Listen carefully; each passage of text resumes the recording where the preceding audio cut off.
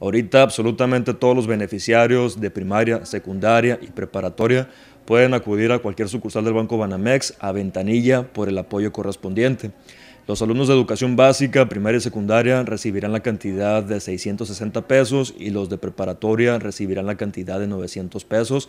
Esto corresponde al último trimestre del ciclo escolar pasado que debíamos, ¿no? Ya nos estamos poniendo al corriente y la finalidad es liberar o saldar completamente los adeudos que tenemos en becas económicas antes de que concluya la presente administración.